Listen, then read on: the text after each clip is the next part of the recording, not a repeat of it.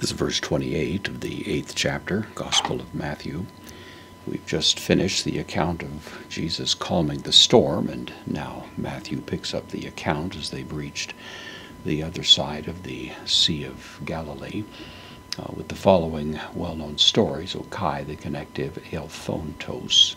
From Erchomai, uh, I come or I go. This is a participle. It's a genitive participle because it's part of a genitive absolute. This is the aorist, uh, genitive singular uh, in the masculine because it goes with the subject.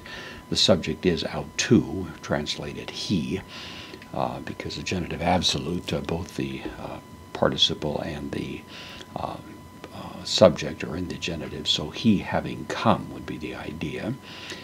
Ace preposition takes the accusative. Here's to peiron. Uh, this is an indeclinable ad adverb into the side uh, would be the notion. And then ace, once again, tain koron, uh, into the side, into the vicinity or the country, the region. Uh, tone uh, Gadarenon of the Gadarenes. So this is on the east side of the uh, Sea of Galilee. It's a region that's fairly well known. And uh, so he having come into the side of Galilee, into the region of the Gadarenes, this is the Decapolis area, uh, Hupetesan, Hupetesan. This is from hupo anti, two words. Hupo means under.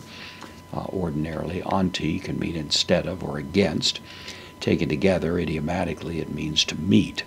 Uh, to uh, encounter other, to be against other, something like that. It's not quite literal, but uh, the notion is there met him with a little bit of an antagonistic notion uh, suggested by the choice of the words here.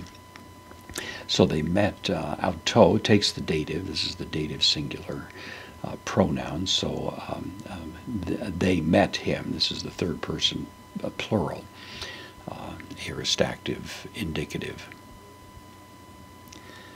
Uh, duo, the adjective means two. Daimonizomenoi from uh, dino, uh, daimonidzomai.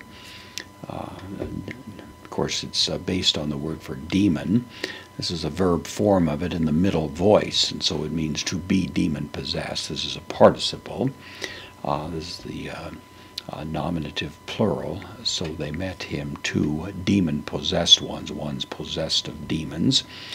Uh, and uh, ek preposition takes the genitive tone, uh, neon, out of the tombs.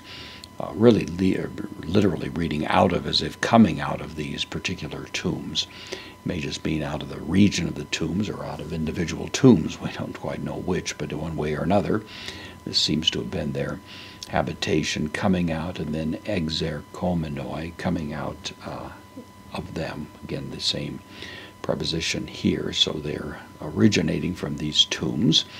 Uh, uh, this is a um, uh, adjective. It means very fierce, and then it's uh, accentuated by leon, an indeclinable adverb that means very, very fierce. So uh, these were uh, somewhat uh, impressive characters, these two, hosta, so that. Then we have a, uh, an infinitive construction here, uh, may, uh, not, used with non-indicative moods as we have here, and then iskuane. this is to be strong, it's the infinitive, aorist infinitive, so not to be strong. Uh, tena is in the accusative because in this construction the subject of the infinitive will be in the accusative. So uh, not a person, a man, strong. This person cannot be strong. Uh, perelphane, in order to. Um, uh, this is the uh, notion of uh, passing along. Per erkamai, to go along, to come along.